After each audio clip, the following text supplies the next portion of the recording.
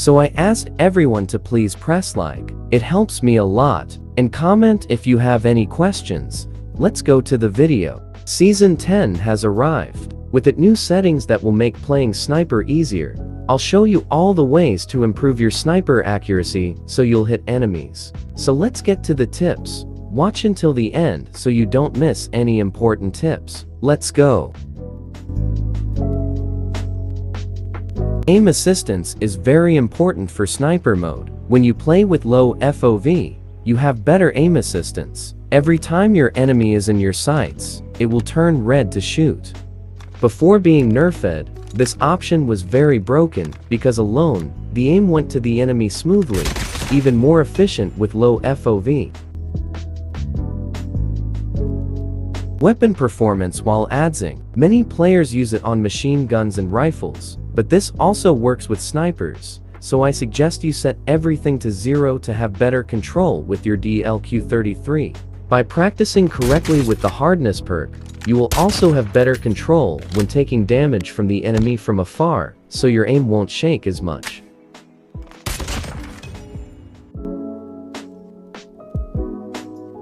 The FOV greatly influences your gameplay and precision. Sometimes I use the maximum FOV, but the ideal to have great precision is between 90 60ths or 90 70ths. The closer your vision is to the scope, the closer your view to the scope, the more enemies you will hit, because your view is closer to the enemy and not so far away. This only applies to players on phones and not iPads.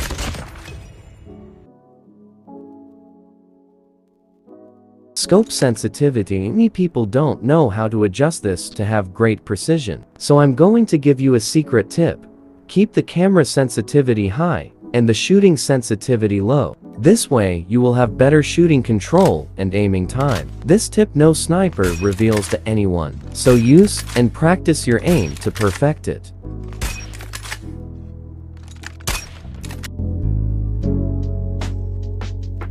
The best perk to have a fixed aim is Steel Lung. With it, you have a fixed aim. This is very useful on large maps. For hard scope, this perk is the worst enemy of campers because when opening the scope, with this perk there is no reticle deviation, you can use it on a hard scope at any distance, and it is also very useful with the hardness perk.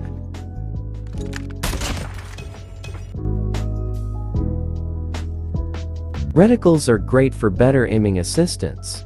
There are several types of reticles, anyways pro players use this reticle I like using this one. For me, this reticle has a better center to hit enemies at close range. I'm an aggressive sniper. I like to rush, so I use this. Realistic scope is a great option for more precision as you have a better view of the target before completing the aiming animation. It is not very good for quickscoping, but is great for hard